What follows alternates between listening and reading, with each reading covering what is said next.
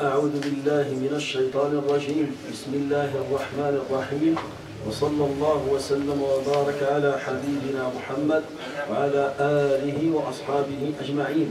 أما بعد فإن أصدق الكلام كلام الله عز وجل وخير الهدي هدي رسول الله صلى الله عليه وسلم وإن شر الأمور محدثاتها وكل محدثة بدعة وكل بدعة ضلالة وكل ضلالة في النار. فيا رب أجرنا من النار بعفوك وأدخلنا الجنة برحمتك يا عزيز يا غفار. أيها الإخوة الكرام لا نزال بفضل الله عز وجل نتكلم عن قصة توبة كعب بن مالك رضي الله عنه وأرضاه. Inch'Allah mes frères, toujours on parle sur le repentir de Ka'b ibn Malik radiyallahu anhu wa ardah. كعب بن مالك لما قضى أربعين يوما لا يكلمه أحد من المسلمين جاءته ابتلاءات أخرى دخل على ابن عمه فسلم عليه فأبى أن يرد عليه السلام فخرج من بيت ابن عمه حزين القلب ضيق الصدر فجاءه ابتلاء آخر جاءته رسالة من ملك غسان يدعوه فيها إلى الكفر ويدعوه إلى أن يترك المدينة وأن يبتعد عن رسول الله صلى الله عليه وسلم وأن يلحق به في في ملكه. بعد ذلك يأتي رسول رسول الله صلى الله عليه وسلم ليعلم كعب بن مالك أن النبي صلى الله عليه وسلم يأمره أن يفارق أهله أن يفارق زوجته. فلما جاءه الأمر قال لزوجته الحقي بأهلك. قال لها الحقي بأهلك. فلما انتهت هذه المحنة جاء كثير من بني سلمة فقالوا لكعب بن مالك يا كعب لو استأذنت رسول الله صلى الله عليه وسلم في امرأتك فقد أذن لامرأته لامرأة هلال ابن أمية أن تخدمه.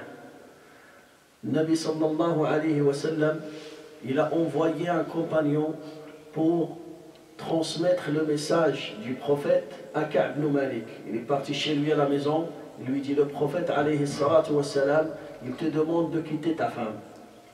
Ka'b Malik, il a dit à sa femme, retourne chez tes parents.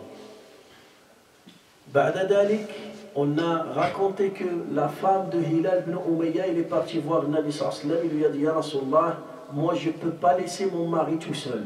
C'est un vieux, il ne peut pas s'occuper de lui et il fait que pleurer. Depuis qu'il a fait ce péché-là, il est enfermé à la maison et il fait que, que, que, pleurer. Est-ce que tu me donnes l'autorisation de rester avec lui pour lui préparer à manger, pour prendre soin de lui, pour le servir? Il lui a dit oui, mais à une condition, il ne va pas te toucher. Il ne te touche pas. Là, Ka'b quand il a reçu le même ordre de quitter sa femme, il y a des gens, et c'était des hypocrites, ils ont dit les savants, parce que les croyants, ils ne parlent pas avec Ka'b Malik. C'était des hypocrites, ils ont donné un mauvais conseil à Ka'b. Qu'est-ce qu'ils ont dit? Ils ont dit, demande au prophète de te donner l'autorisation. Envoie ta femme, et elle, va demander l'autorisation au prophète qu'il reste avec toi. Faka'b ibn Malik, il a dit non, je ne peux pas faire ça.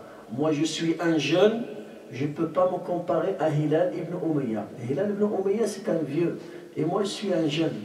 Ça veut dire, je peux m'occuper de mes besoins dans la journée. Je peux préparer à manger, je peux laver mes vêtements, je peux me, me lever, je peux faire, je peux faire. Alors, c'est incomparable. Alors, il a refusé, Ka'b ibn Malik, d'écouter ce mauvais conseil. بعد ذلك يقول أن يقول كعب فكمل لنا فلبثت بذلك عشر ليال فكمل لنا خمس خمسون ليلة من حين نهي عن كلامنا لا Kabul Malik, il a dit, maintenant, on est arrivé à 50 jours. Là, ça fait 10 jours qu'il a quitté sa femme. Ça veut dire combien la période, cette période-là, a duré 50 jours. Quand c'est bon, j'étais, on a fini les 50 jours. ثم صليت صلاة الفجر صباح خمسين ليلة على ظهر بيت من بيوتنا قال لهم la nuit du 50e jour Subh, j'ai fait la prière de Subh dans le toit de ma maison c'est bon normalement d'habitude il va à la mosquée mais maintenant vraiment il est arrivé à un, poids qu'il qu c'est bon il ne peut pas supporter il a fait salat Subh chez lui à la maison il avait le droit de faire chez lui. Parce que la prière en groupe, c'est une obligation, wajiba. Mais pourquoi Ka'b l'a fait? Parce que s'il va à la mosquée, ça va lui faire mal dans son cœur. Il passe salam et personne ne parle avec lui. Alors, au lieu de s'énerver, de se vexer, il a le droit de, de prier chez lui.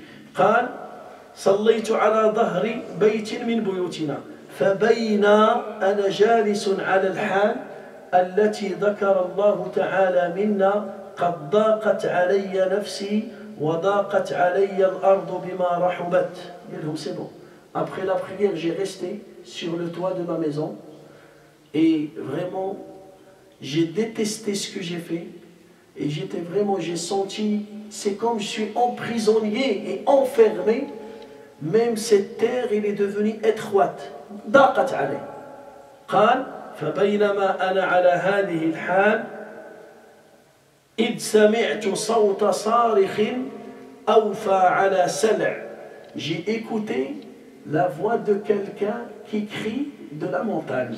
Il est monté dans une montagne qui s'appelle la montagne de Sala. Il est monté et il crie.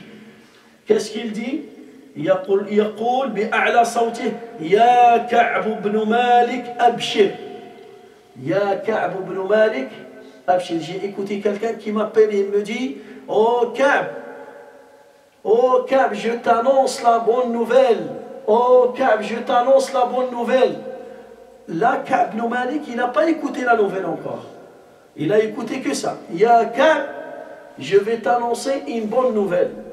يقول كعب فخررت ساجدا وعرفت أنه قد جاء الفرج Quand j'ai écouté ça, qu'est-ce que j'ai fait je me suis prosterné et j'ai commencé à remercier Allah Ta'ala بدأت أشكر الله تعالى وهذا يسميه العلماء سجود الشكر cette prosternation on s'appelle celle-là tu prosternes pour remercier Allah Azza wa Jal comme il a fait le prophète Daoud Daoud alayhi salam فظن داود أن ما فتناه فاستغفر ربه وخر راكعا وأناب il s'est prosterné pour remercier Allah Azza wa Jal.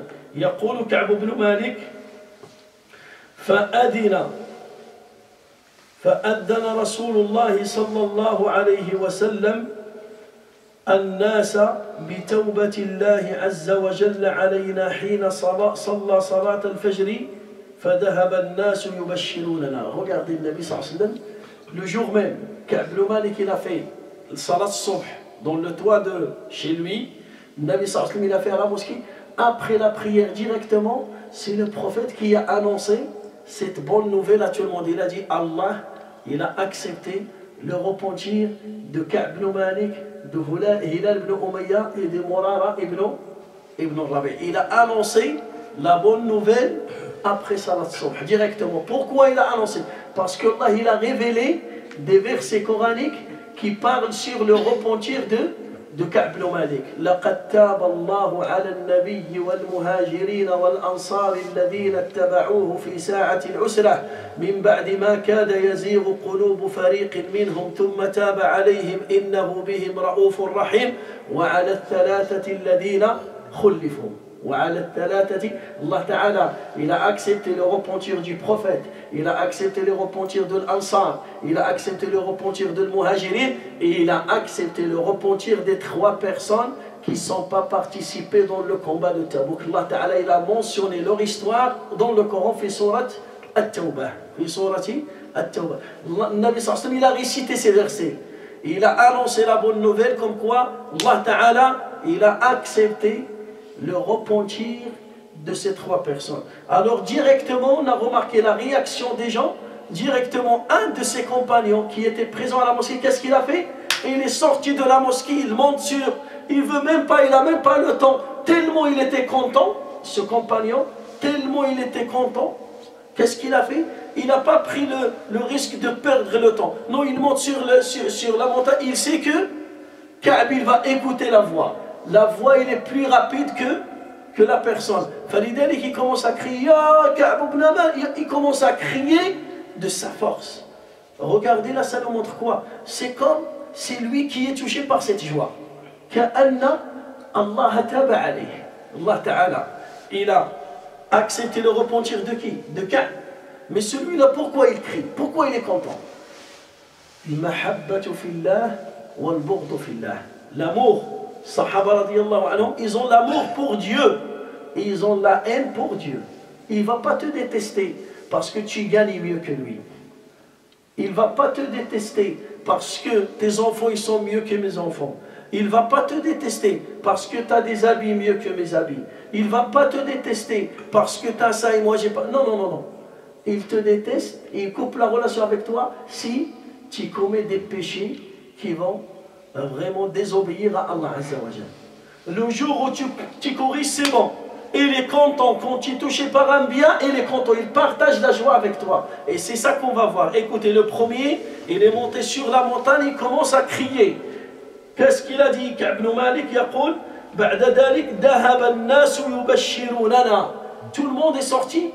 Des gens, ils sont partis voir Hilal ibn Umayya. D'autres personnes, ils sont partis vers Murara ibn Rabi' يقول كعب بن مالك رضي الله عنه فذهب قبل صاحبي مبشر وركض رجل إلي على فرس وسعى ساع من أسلم قبلي وأوفى على الجبل فكان الصوت أسرع من الفرس Le premier, il est monté sur la montagne, et le deuxième, il est monté sur son cheval, et il se dirige vers la maison de Ka'b Malik. Il veut toquer la porte pour lui annoncer cette belle nouvelle. Subhanallah, la sagesse d'Allah, c'est que dans ce jour-là, Ibn Malik n'était pas à la mosquée.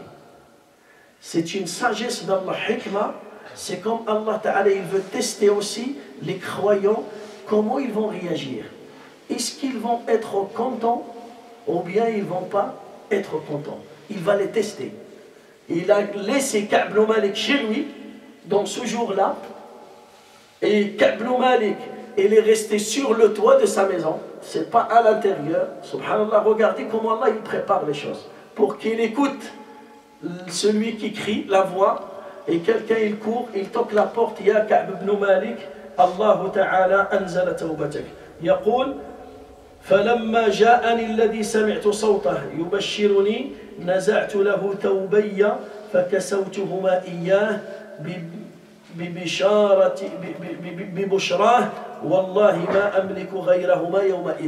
Maintenant, le premier, il a crié et quelqu'un est venu par son cheval.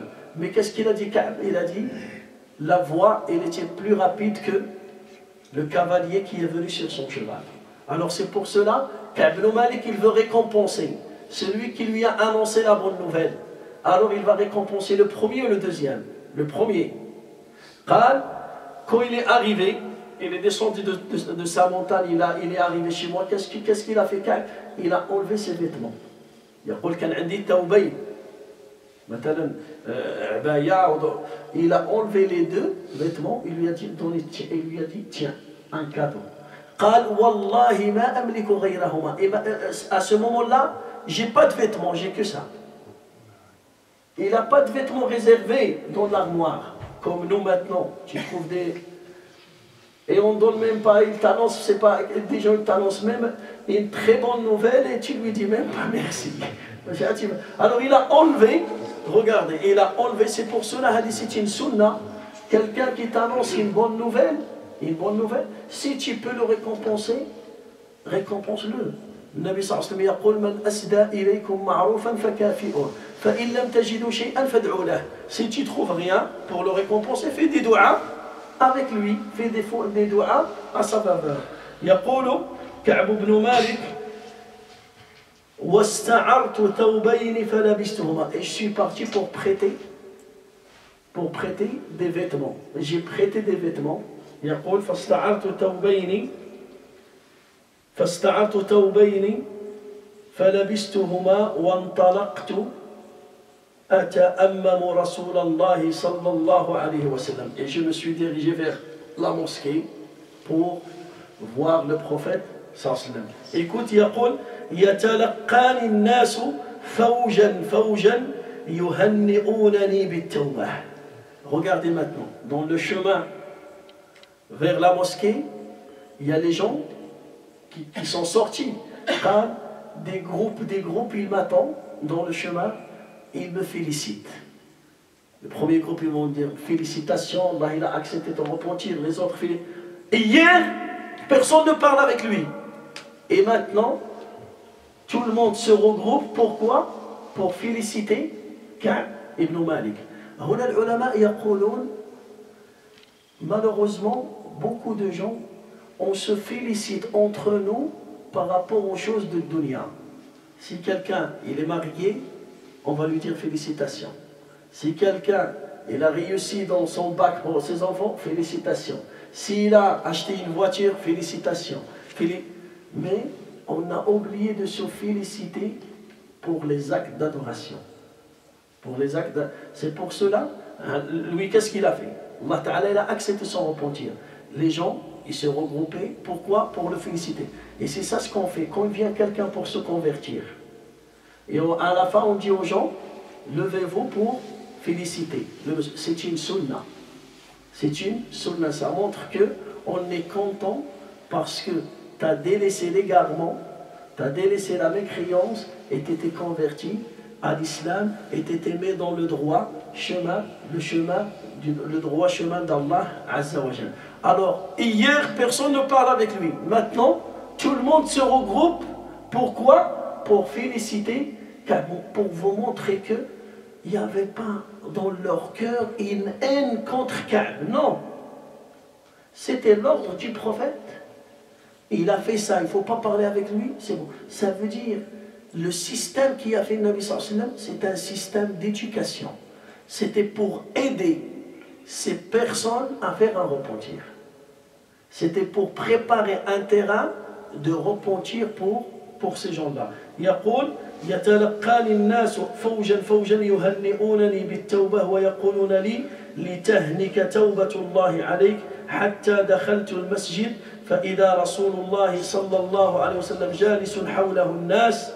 فقام طلحة بن عبيد الله رضي الله عنه يهرول حتى صافحني وهنأني Maintenant il est arrivé à la mosquée, il voit le Nabi sallallahu alayhi wa sallam, mais il est entouré par des compagnons.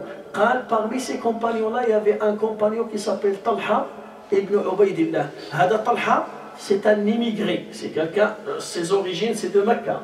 قال, il s'est levé, وجاء يهرول il, marche, il est rapide, il court vers moi. Pourquoi Pour me féliciter. Il s'est levé, quand il m'a vu rentrer, il s'est levé, il court vers moi. Pourquoi? Pour me féliciter. Et on va s'arrêter là, Inch'Allah Azzawajal. Le week-end prochain, on va continuer de parler, Inch'Allah. Allahumma allimna ma bima allamtana, wa zidna ilman ya rabbal alamin. Inch'Allah, aujourd'hui, on a fini 100 épisodes après Salat Subh. Et c'est pour cela que vous êtes invités de boire le café. Il y a le café, Inch'Allah. Il y a du beignet, hein? Des beignets, il y a du café, Inch'Allah. Vous êtes invités à patienter pour boire et manger le déjeuner ensemble. Allahumma alimna ma. Oh, les gens qui ont ramené le petit déjeuner, Allahumma barik fihim, wa taqabbal minhum, wa taqabbal minna ajma'in, wa sallallahu wa sallam wa baraka ala habibina Muhammad, wa ala alihi wa ashabihi ajma'in, walhamdulillahi rabbil alamin.